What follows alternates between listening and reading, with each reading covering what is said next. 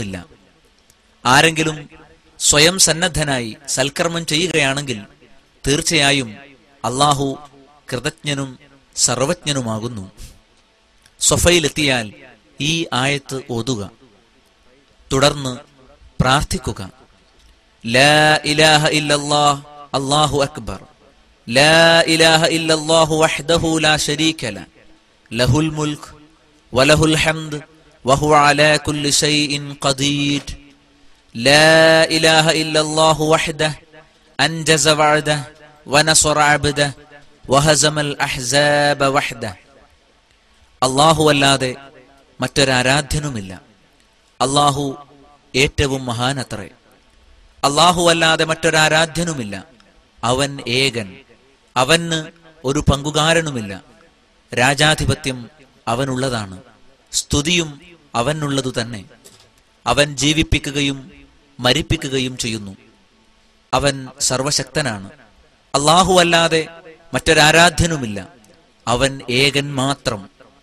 തന്റെ വാഗ്ദത്തം അവൻ നിറവേറ്റി. തന്റെ അടിമയെ സഹായിച്ചു. ശത്രുസേനകളെ അവൻ തനിച്ച് പരാജയപ്പെടുത്തി. ഈ സമയത്ത് കാഴ്ബയ്ക്ക് നേരെ തിരിഞ്ഞു നിൽക്കൽ സുന്നത്താണ്. മൂന്ന് തവണ ഈ പ്രാർത്ഥന ആവർത്തിക്കണം. ഷായിനിടയിലും ഇഷ്ടമുള്ള ദിക്കറുകളും പ്രാർത്ഥനകളുമെല്ലാം ചൊല്ലാം. എതിർവശത്തുള്ള മറുവയുടെ നേരെയാണ് ഷായി നടത്തേണ്ടത്.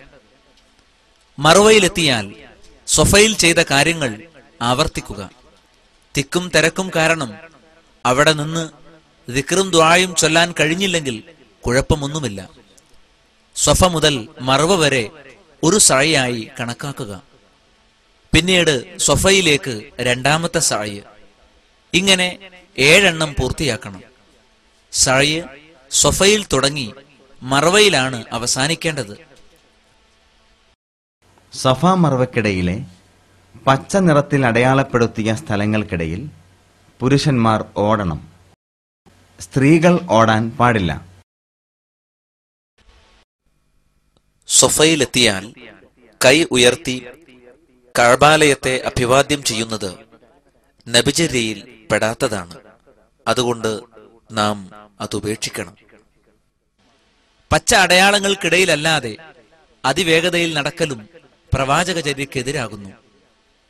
സഴയിന് ശേഷം തലമുടി കളയുകയോ വെട്ടുകയോ വേണം. ഉംറ മാത്രം നിർവഹിക്കുന്നവരാണെങ്കിൽ തലമുടി പൂർണമായും കളയുന്നതാണ് സുന്നത്ത്. ഹജ്ജിനു വേണ്ടി ഒരുങ്ങിയവരാണെങ്കിൽ ഹജ്ജിനുള്ള ഇഹ്റാമിൽ നിന്ന് തഹല്ലുലാവുമ്പോഴാണ് തലമുടി കളയേണ്ടത്. സ്ത്രീകൾ ഒരു വിരൽത്തുമ്പിന്റെ അളവിൽ മുടി വെട്ടണം. ഇതോടെ ഉംറ കർമ്മങ്ങൾ കഴിഞ്ഞു. ഉംറക്കുള്ള എഹ്റാമിലായിരിക്കെ നിഷിദ്ധമായതെല്ലാം പിന്നീട് അനുവദനീയമായി. ഇങ്ങനെ ഹജ്ജിനു മുമ്പ് ഉംറ നിർവഹിച്ചവർ പിന്നീട് ജറാനയിലോ മറ്റോ പോയി വീണ്ടും ഇഹ്റാം കെട്ടി ധാരാളമായി ഉംറ ചെയ്തുകൊണ്ടിരിക്കുന്നത് ചിലർ പതിവാക്കിയിരിക്കുന്നു. അങ്ങനെ ചെയ്യുന്നതിന് പ്രവാചക ചര്യയിൽ യാതൊരു അടിസ്ഥാനവുമില്ല.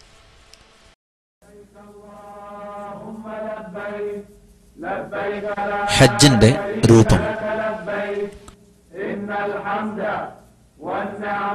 റുക്കുനുകൾ. നെയ്യത്തോടെ എഹ്റാമിൽ പ്രവേശിക്കുക. ദുൽഹിജ ഒമ്പതിന് അറഫയിൽ നിൽക്കുക. തവാഫുൽ ഇഫാദ നിർവഹിക്കുക.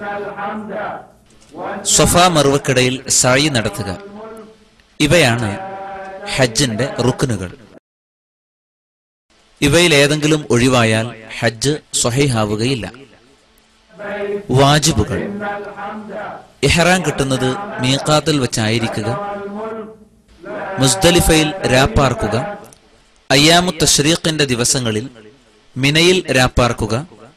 ജംറകളിൽ എറിയുക ആർത്തവകാരികളും പ്രസവരക്തമുള്ളവരുമൊഴികെ തൊവാഫുൽ വിദാൾ നിർവഹിക്കുക മുടി കളയുകയോ വെട്ടുകയോ ചെയ്യുക. ഇവയാണ് ഹജ്ജിന്റെ വാജിബുകൾ. ഇവയിൽ ഏതെങ്കിലും നഷ്ടപ്പെട്ടാൽ അക്കാരണത്താൽ ഹജ്ജ് അസാധുവാകയില്ലെങ്കിലും പ്രായശ്ചിത്തമായി ബലി നടത്തണം. ഇനി ഹജ്ജിന്റെ കർമ്മങ്ങൾ ഓരോന്നും വിവരിക്കാം. ദുൽഹിജ എട്ട് മുതൽ പതിമൂന്ന് വരെയുള്ള ആറ് ദിവസങ്ങളിലായാണ് ഹജ്ജിന്റെ കർമ്മങ്ങൾ നിർവഹിക്കാനുള്ളത്. ദുൽഹിജ എട്ട്.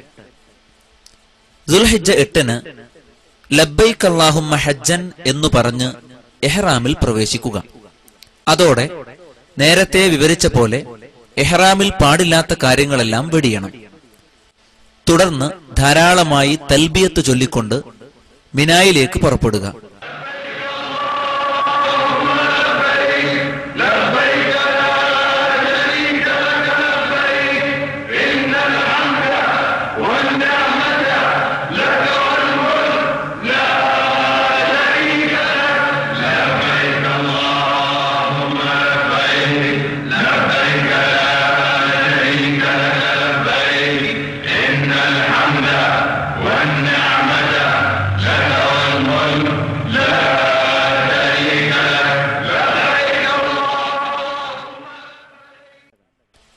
മിനയിലെത്തിയാൽ ഓരോ നമസ്കാരവും കസറാക്കിയാണ് നമസ്കരിക്കേണ്ടത്.